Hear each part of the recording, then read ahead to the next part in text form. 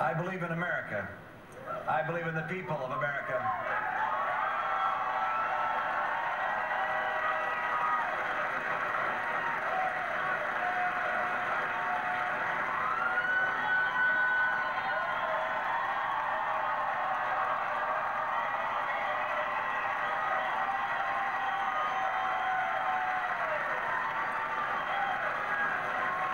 And I ran office because I'm concerned about America.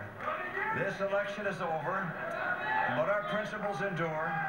I believe that the principles upon which this nation was founded are the only sure guide to a resurgent economy and to renewed greatness.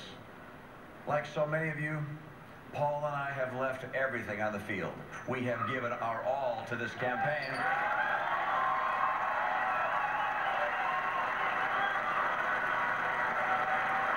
I so wish, I so wish that I had been able to fulfill your hopes to lead the country in a different direction, but the nation chose another leader, and so Ann and I join with you to earnestly pray for him and for this great nation. Thank you, and God bless America. You guys are the best. Thank you so much. Thank you. Thanks, guys.